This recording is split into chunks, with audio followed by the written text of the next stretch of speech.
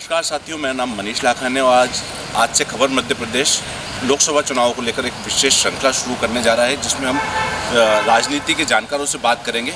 आज हमारे साथ बात करने के लिए हैं अविनाश रावत, जो वरिष्ठ पत्रकार हैं, भास्कर में लंबे समय तक बड़े पदों पर सेवाएँ दे चुके हैं।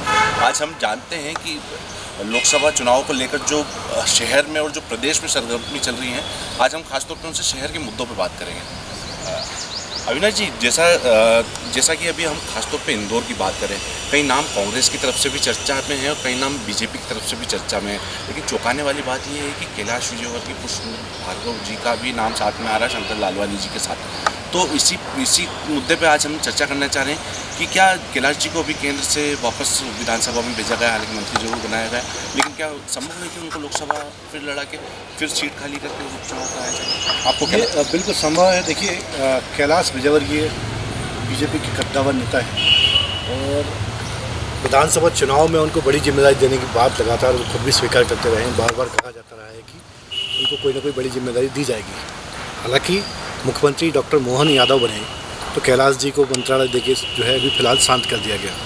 लेकिन अब ये संभव है कि कैलाश विजयवर्गीय को सांसद बनाकर केंद्र में बैठाया जाए। ये भी कहते हैं कि जब ताई यहाँ के से सांसद थी, ताई यहाँ से लड़ती थी तब भी कैलाश जी की इच्छा थी कि वो किसी तरह लोकसभा चुनाव लड़के और केंद्र में पहुँचे। वो इच्छा उनकी कभी पूरी नहीं हो पाई। हमेशा दबी रही। वो एक हसरत तो है उनके मन में कि सांसद का चुनाव लड़ें। संभव है कि लड़ सकते हैं चुनाव। ना, नहीं, लेकिन जैसा कि हमने देखा कि केंद्र से तो सात बड़े नेता मतलब सात सांसद और कैलाश विजयवर्गीय जो राष्ट्रीय महासचिव थे, सभी को इंदौर मतलब सभी को प्रदेश में चुनाव लड़ने के लिए भेजा गया था। तो ज़रूरी नहीं लगता कि कैलाश विजयवर्गीय को फिर वापस सांसद भेजा जाए। प्रदेश में स्थितियाँ सुधारने के लिए प्रदेश में और पकड़ मज़बूत करने के लिए उनका यहाँ उतारा गया। प्रदेश में फ़िलहाल जो ज़िम्मेदारी कैलाश विजयवर्गीय को दी गई है, कैबिनेट मंत्री के तौर पर वो अच्छा कर रहे हैं, लेकिन राष्ट्रीय स्तर के नेता हैं और कहीं ना कहीं मुख्यमंत्री पे भारी भी पड़ते हैं। तो हमेशा ये कयास तो लगाए ही जा रहे हैं कि हो सकता है लोकसभा चुनाव के बाद कैलाश जी को मुख्यमंत्री बना दिया जाए। हो सकता है कि कैलाश जी को वापस कोई बड़ी ज़िम्मेदारी दे दी जाए। इन सब कयासों के बीच में ये लाजमी है ज़ाहिर सी बात है कि कैलाश जी को केंद्र भेजने के लिए लोकसभा का रास्ता निकाला जाए। तो संभव है। तो ऐसा भी माना जा रहा है कि सीएम से बड़ा कद बड़ा चेहरा है तो इसलिए एक बड़ी ज़िम्मेदारी देना उनको बनता है। बिल्कुल बनता है। कहीं ना कहीं ये बात हमेशा से रही है जैसा कि राजनीतिक जानकार हमेशा ये बात कहते रहे हैं कि कैलाश विजयवर्गीय ताई और भाई का जो बीच में समीकरण चलता था कि ताई का कद भाई से बड़ा था। भाई हमेशा ताई से ऊपर जाना चाहते केंद्र में जाना चाहते थे नहीं जा पाए। फिर कहीं ना कहीं ये बातें उठी कि शिवराज सिंह आए और शिवराज सिंह जो है भारी पड़े कैलाश जी पे और शिवराज सिंह ने कहीं ना कहीं उनको नहीं जाने दिया लोकसभा विधानसभा में आए तो अब शिवराज सिंह मुख्यमंत्री नहीं हैं उनकी जगह डॉक्टर मोहन यादव हैं। डॉक्टर मोहन यादव कहीं ना कहीं कैलाश बेवरिए से कद में छोटे तो रहे ये अलग बात है कि अब मुख्यमंत्री हैं और उनका कद कैलाश जी से बड़ा है। इसलिए तय है कि कैलाश बेवरिए को केंद्र भेजा है। लेकिन मेरे मन में दूसरा नाम चल रहा है पुष्पमित्र भार्गव जी। महापौर है वर्तमान में। तो क्या फिर जैसे आप कैलाश जी की बात कर रहे हैं तो महापौर जी का भी नाम चल रहा है। तो क्या फिर महापौर की भी सीट ब्लैंक करके और फिर उनको उधर ऊपर लड़ाया जाएगा या दोनों सीट पर रहेंगे? क्या त्रिकोणीय समीकरण बन रहे हैं ये बात सही है लेकिन एक ये कहीं से कहीं से बात निकल के आई है पुष्पमित्र भार्गव खुद चुनाव नहीं लड़ना चाहते। वो अपनी पत्नी को सांसद का चुनाव लड़ना चाहते हैं। उनको लोकसभा भेजना चाहते हैं और अपनी लगातार वो है, जैसे चार नंबर विधानसभा से भी उन्होंने काफ़ी कोशिश की कि उनकी पत्नी को टिकट दिया जाए और वो विधायक बने। ये संभव नहीं हो तो अब प्रयास किए जा रहे हैं कि वो उनको कैसे भी लोकसभा का रास्ता दिखाया जाए। ठीक है, फिर अगर शंकर लालवानी जी की जैसे आपने ज़िक्र किया, सिंधी, क्योंकि देश में लाल कृष्ण आडवाणी के बाद कोई सिंधी बड़ा चेहरा नहीं था पाकिस्तान से जो विस्थापित जो शरणार्थी सिंधी थे, उनको भी देश में बसाने में शंकर लालवानी ने भूमिका निभाई है। तो क्या दूसरी बार उनको मौका दिया जा सकता? है साढ़े पाँच लाख मतों से जीते थे। क्या लग रहा है? क्योंकि टिकट पे काफ़ी ये बार बार चर्चाएँ हो रही थी कि टिकट पे उनके संकट बरकरार है। लेकिन नाम उनका चल रहा है और दो ऐसे नेता हैं जो किसी न किसी पद चुनाव जीतकर किसी न किसी पद पर हैं और शंकर लालवानी सांसद हैं। क्या फिर उनको मौका मिल सकता है? देखिए, ऐसा है कि शंकर लालवानी जी का नाम पिछली बार कहीं नहीं था चर्चाओं में। कहीं सुर्खियों में नहीं था कि उनको टिकट दिया जाएगा, लेकिन दिया गया।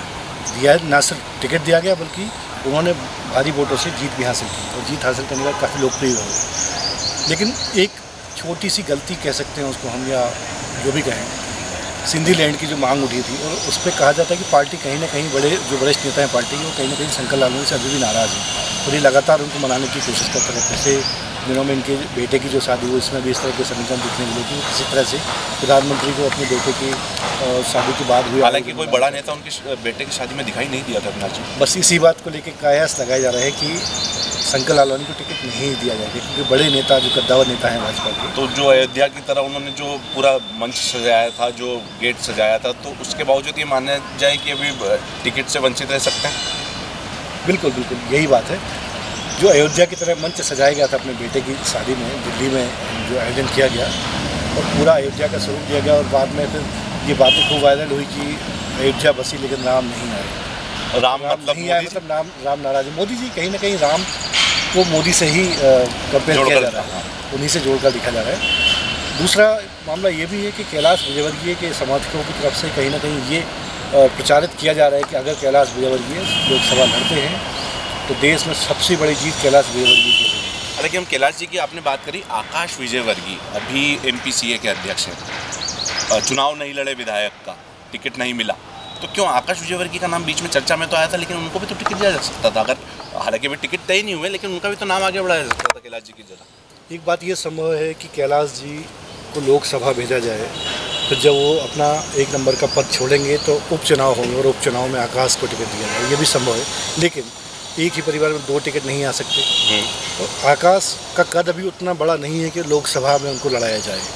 कहीं ना कहीं ये एक वजह है और ये कयास इसलिए ज़्यादा ज़ोर दिया जा रहा है कि कैलाश जी को ही लोकसभा भेजा जाएगा। हालाँकि कैलाश जी को लोकसभा भेजा जाएगा लेकिन आकाश जी के लिए कोई रास्ता तब भी दिखाई नहीं देगा क्योंकि वो तो तय है कि दो टिकट नहीं मिलेंगे इस बार भी विधानसभा चुनाव में भी ऐसे ही हमको देखने को लगा हालाँकि अविनाश जी और भी चेहरों की अगर बात करें जैसे जीतू जिराती का भी नाम चल रहा था जीतू जिराती सक्री भी दिखाई दे रही थी दिल्ली भोपाल में। उनका क्या अगर अभी उनका नाम दिखाई नहीं दे रहा बड़े मीडिया संस्थानों की तरफ़ से उनका नाम कहीं सामने नहीं आ रहा।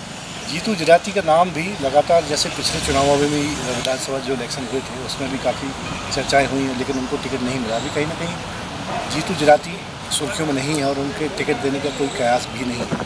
लेकिन मोदी की रणनीति कहाँ जाती है तो जब टिकट तय होंगे, तब पता चलेगा। शहर अध्यक्ष होने के नाते गौरव रणदीवे का नाम भी चर्चाओं में था। हालाँकि अभी उतना जोरदार तरीके से नहीं है, लेकिन ये तो नेचुरल कैंडिडेट माना जाता शहर अध्यक्ष को। जैसे लालवानी को टिकट मिला था, वैसे गौरव रणदीवे भी दावेदार बनते हैं। उनको विधानसभा तीन से वो दावेदारी करते रहे, विधानसभा पाँच से दावेदारी करते रहे, लेकिन टिकट दोनों जगह से उनको नहीं मिला।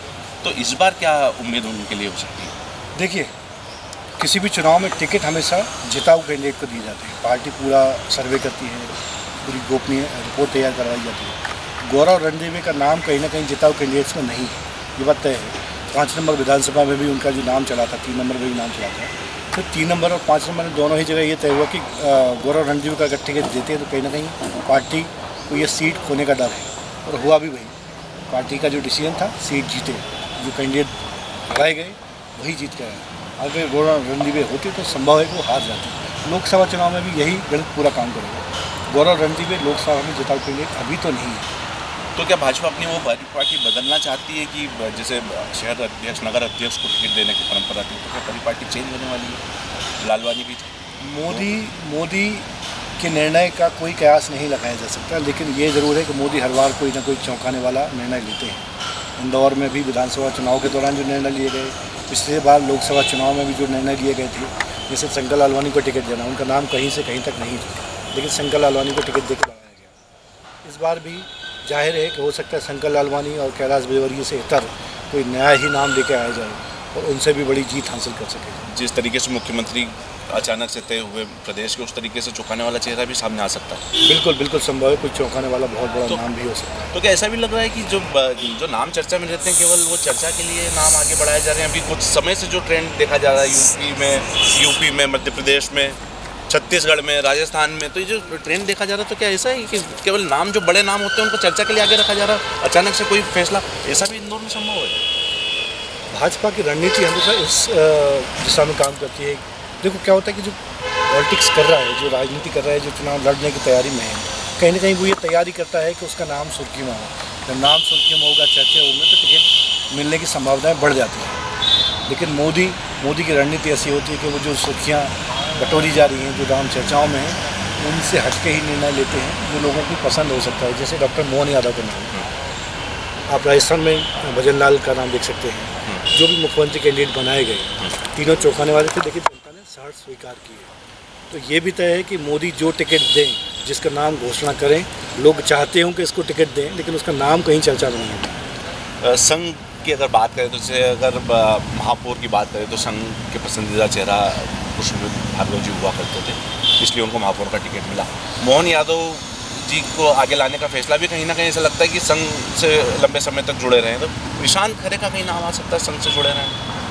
हाँ ये बात, एक एक हम कह सकते हैं, एक दिशा है ये, क्योंकि पिछले, जो इलेक्शन हुए तीन चार राज्यों में, उन राज्यों का जो क्रम देखा गया, जिस तरह से टिकट दिए गए, जिस तरह से मुख्यमंत्री कैंडिडेट जिस तरह से दिए गए, बनाए गए संघ की पसंद और संघ से जुड़े हुए लोग ही हैं। तो ये तय है। वैसे तो शंकर लालवानी और कैलाश भैरवी दोनों ही संघ के करीबी हैं। लेकिन निशांत खरे भी एक बड़ा नाम हो सकते हैं क्योंकि पहले महापौर का टिकट देने का एकदम तय हो चुका था लगभग कि निशांत खरे को ही इंदौर से महापौर का चुनाव लड़ाया जाएगा।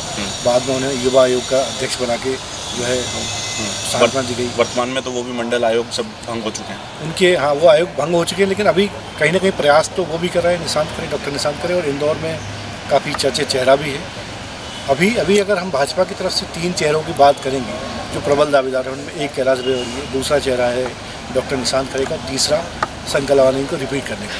नया चेहरा अभी कोई नहीं ला सकते। अच्छा मतलब आपके हिसाब से ये तीन चेहरे हैं। नाम भले ही पुष्पमित्र भार्गव जी का भी चल रहा हो जीतो जुराती का भी चल रहा हो लेकिन आपके हिसाब से तीन चेहरे कैलाश विजयवर के निशांत खरे और कैलाश विजय निशांत खरे और शंकर लालवानी। शंकर लालवानी मतलब जो वर्तमान सांसद है वो हो सकते हैं।